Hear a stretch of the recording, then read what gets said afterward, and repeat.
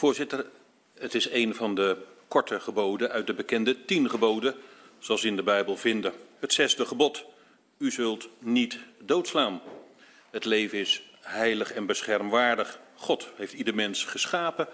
En wie zich vergrijpt aan het menselijk leven, vergrijpt zich daarmee ook aan de schepper van dit leven. En binnen het christelijk geloof wordt daarom een heel hoge waarde toegekend aan de bescherming van het menselijk leven. En dat geldt voor ieder mens, voor welke komaf, kleur of leeftijd dan ook. De heer Recour. Ja, dan toch nog maar de inkopper. Volgens mij staat in het beginselprogramma van de SGP nog dat de doodstraf wenselijk is. Dat klopt, ja. Ja, ik, ik kan dat op geen enkele manier rijmen met de, uw openingszinnen. Terwijl die zo ontzettend eenvoudig is, dus ik ga er uh, heel graag op in. Uh, wat ik dus net beklemtoon, is dat het christelijk geloof een buitengewoon hoge waarde toekent aan het leven. Tegenover die hoge waarde van het leven staat logischerwijs ook dat wie zich vergrijpt aan het leven, uh, eventueel ook de hoogste straf tegemoet moet kunnen zien. En dat betekent inderdaad in het uh, ultieme geval, en daarbij kunnen we denken aan een terroristische aanslag bijvoorbeeld, dat zo'n persoon het recht om te leven verliest. En de, de overheid, daar hebben we het over, de overheid het recht heeft om die doodstraf op te leggen.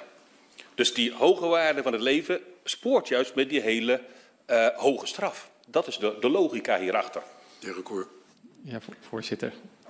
Ter bescherming van het leven neem je het leven. Het leven wat door God is gegeven, niet door de mens, wordt toch door de mens genomen. Maar goed, u, Dan u zit beter in, in, in de theologie. Maar ik vind het als, als niet-religieus persoon echt heel moeilijk te volgen. Ik kan het, geloof ik, moeilijk duidelijker uitleggen dan dat. Uh, uh, in ieder geval, ik neem aan de logica dat als je het leven een hele hoge betekenis toekent, dat daar een hele hoge straf tegenover moet staan. Dat vinden heel veel mensen. Dan kan over levenslang gaan of iets dergelijks. Dus die, dat lijkt mij logisch. En uh, inderdaad, het is niet voor niks, begon ik daarmee, uh, de Bijbel die zich zo uitspreekt over het leven. En het is inderdaad ook de Bijbel die aan de overheid toestaat om het leven van een misdadiger, die zich heeft vergrepen aan het leven, ja, daarop de ultieme straf te zetten. Uh, dank voor uw vraag. Ja, er is natuurlijk heel veel uh, meer van te zeggen. Uh, uh, nou, laat ik het hierbij bij laten. Voor mij is in ieder geval, want ook die vraag komt natuurlijk vaak op, uh, waarom zo erg tegen bijvoorbeeld abortus en dat soort zaken, heeft hij met hetzelfde. En omgekeerd kan ik dus heel erg moeilijk begrijpen dat partijen die zich progressief noemen er dan geen moeite mee hebben dat onschuldige kinderen in de moederschoot worden gedood, terwijl ze wel er pontificaal voor gaan liggen als het gaat over de veroordeling van een Saddam Hussein en zo, want dat leven is heilig.